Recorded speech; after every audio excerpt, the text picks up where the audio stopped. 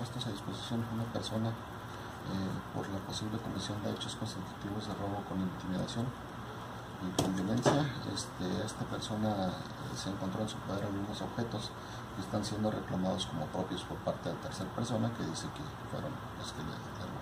Entonces, ¿cuál es la situación de él? Este Eh, estábamos dentro del término constitucional de 48 horas, también recabando los peritajes, recabando dictámenes médicos, recabando entrevistas para, y sobre todo la, la- la denuncia o querella para poder judicializar el asunto. ¿De qué lo despojaron? Eh, objetos personales, objetos personales. ¿Utilizaron arma blanca? Eh, todavía estamos en la expectativa de tratar de-